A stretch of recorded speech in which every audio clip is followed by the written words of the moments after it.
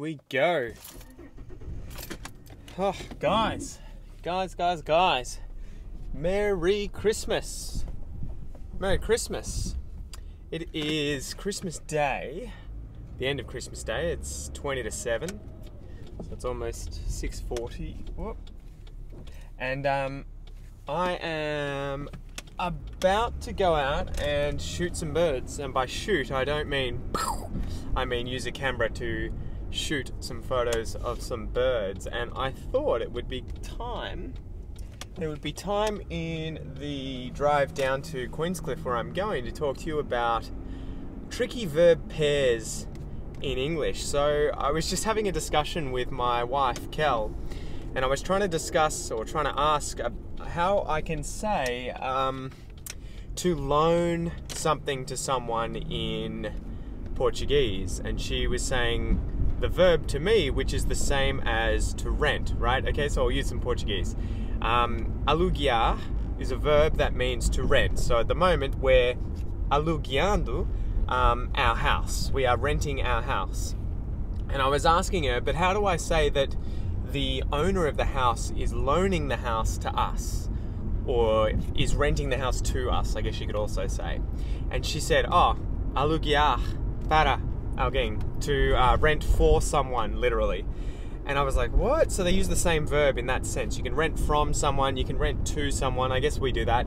But we would also use the verb in English to loan. And I guess that one, ironically enough, that one can be used in both directions. You can loan a book from a library and you can loan something to, the library loans the book to someone. So even I'm just figuring this out.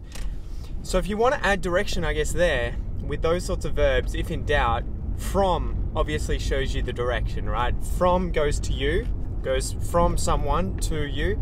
To shows the direction from which um, the thing is going. So if I rent something to someone, that shows that I am the person who owns the thing and I'm renting it to the person, I'm loaning it to the person. If I rent something from someone, it shows that someone else owns it and they're giving it to me. I am getting it from them. I am loaning it from them. I am renting it from them. Anyway, I don't know. I'm sort of talking through this. I haven't thought deeply about it, but I thought it would be a good conversation because quite often I'm hearing people learning English. Um, quite often I hear you guys use verbs the opposite way around, right? So, for instance, um, someone might say, When are you going here? And you would never say that as a natural English speaker, someone a native English speaker who's trying to speak naturally, you would never say go here. When you're talking about the place here, you would use come here, go somewhere else, anywhere else that you are not, right? Or that isn't here. So I might go to the shops, but if I said I might come to the shops, the idea is that the person I'm talking about is already there and I'm talking about coming to that person, okay? So there was that. Come and go is a really good example. Come is towards the subject or the, the object, the person, the thing that you're talking about. You come towards that thing. Go is usually away from the thing that you're talking about to somewhere else. And there are some other verb pairs like this. So, for instance, you might say, what was the other one? Let me think, let me think. Borrow and lend, right? This is one that gets a lot of people as well. Now, unlike loan and rent, you can't add to or from to the end of either of these verbs to mix it around. In this case, if you say borrow something, it's always borrow something from someone. So it's going from the person who owns that thing and you are borrowing it. That is, that you get to use it for a certain amount of time without paying for it, so for free.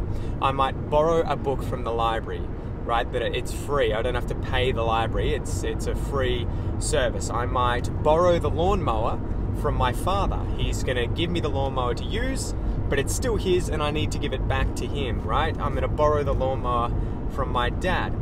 So I borrow something from someone who lends that thing to me. So the library lends the book to me. I borrow the book from the library. My father lends the lawnmower to me. I borrow the lawnmower from my father. So it's important to know those verbs and which sort of direction they're they're going with regards to the subject and object in the sentence, right? Because if you use them incorrectly, it will often confuse native speakers. So, for instance, if you said, I am borrowing my book to my uncle, people would be confused because they don't know you've used to, which shows that it's going from you to your uncle, but you've used the word borrow, which shows that it's coming from someone else to you, right? it's going to confuse people when you mix those up. The same is I um, lent this book from the library. People would be like, they'd understand, but often they'll have to think for a moment because it can be confusing. Another example of some of these pairs was hear and listen. So, in this case, if you hear something, it's usually not an active process. So at the moment, I'm driving and I can hear the wind outside. I can hear other cars. I'm not listening to the cars though. I'm not listening for those cars. So in this case, this is a good a good pair that people also confuse. If you hear music, for example, it's just that you are doing whatever you're doing and there's music playing somewhere that you can hear if you pay attention. Oh, okay, I can hear some music next door if you're listening to some music, it's that you are actively listening to this music, right? You are trying to hear the music actively, so we would use the verb listen. So that's why you will say something like, you'll tell someone, listen to me, as in, pay attention and hear the words that I am trying to say. Whereas if you said to someone, can you hear me? That's not necessarily if they're meant to be listening to the words, you just want to know are they able to hear you talking, whether or not they understand or whether or not they're listening actively, right? So imagine you're trying to use a microphone that you've just plugged in at a concert, you're a singer. You might say to the person at the front of the concert hall who's playing with the buttons and playing with the levels of the sound, Can you hear me? Hello, one, two, one, two, can you hear me? Testing, testing, can you hear me. You wouldn't say, Can you listen to me? You would say, Can you listen to me? if you're trying to get the person to pay active attention to what you're trying to say, okay? So there's there's minute differences between these verbs and that's why it's weird if you say to someone for instance, "Oh, there was someone outside and I could listen to them." It would be like, "What do you mean? You were trying to listen to the words they were saying?" Or you were just listening to them moving around actively? But if you said there was someone outside and I could hear them, it shows that you could just hear the noises they were make. You weren't necessarily actively trying to hear what they were saying or actively trying to hear what they were doing, but they were making noise such that you could hear that noise. Okay, anyway, those were some verb pairs that I wanted to pay uh, a little bit of attention to for you guys on this episode today because I've heard them get confused quite a lot by my students. Okay, so let's just recap. And I'll try and remember and start from the start. Um, if you rent something, if you just say, I'm renting the car, that would tell me that you're paying money to use that car for a period of time. If you use it with rents to someone, I'm renting the car to someone, that shows me that you are the car owner or the person in charge of the car, and you are getting someone else to pay for it to use it for a certain amount of time. I'm renting the car to my employee. If you say I'm renting something from someone, the employee now is renting the car from you, it shows they're the ones renting and you're the one who owns it, they're renting it from you. Same thing with loaning, okay? To loan. If you just say I'm loaning the car, my first thought will be that you're paying to use the car. If you say that I'm loaning the car to someone, it tells me you own the car, you're in charge of the car, and you're loaning it to a person who's paying money to use it for a certain amount of time. And if you say I'm loaning the car from someone, it shows that you don't own the car, own the car, you're paying money to use the car from someone who does own the car. Okay, the same with um, come and go. I'm coming means I am coming to the place that I'm thinking about in mind, the subject location, right? So someone's at the beach and they, they might say to you, Are you coming to the beach? Are you coming to see me, right? They're talking about the location they are as here, and they want to know if you're going to come to them. Um, if you want to know if if you should go to the beach, so should I go to the beach later, or um, maybe should I go to the shops? You're thinking about that location as not here. It's it's there. It's not in the location you're currently at. So you want to go to that location. Okay, so that's how we'll use those differently. Come here, go there. Come here, go there. Uh, what were the other ones? So we had come here, go there.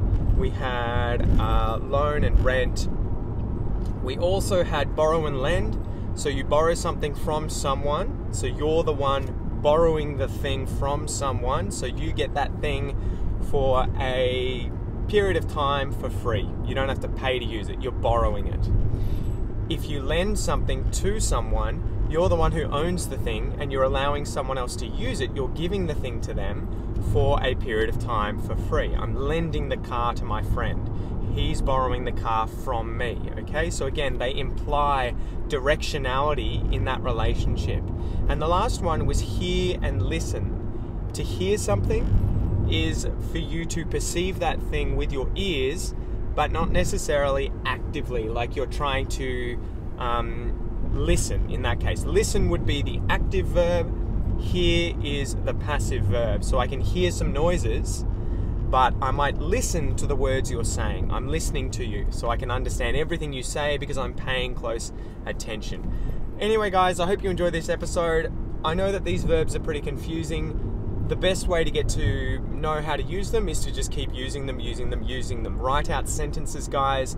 Uh, make up stories. Have conversations with friends.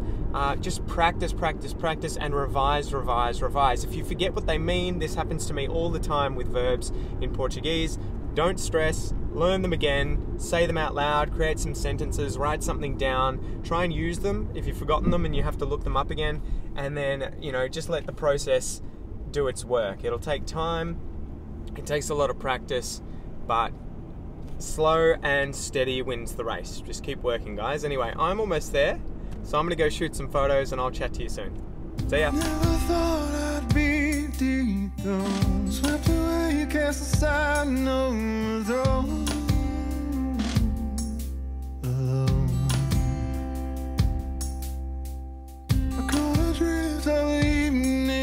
sky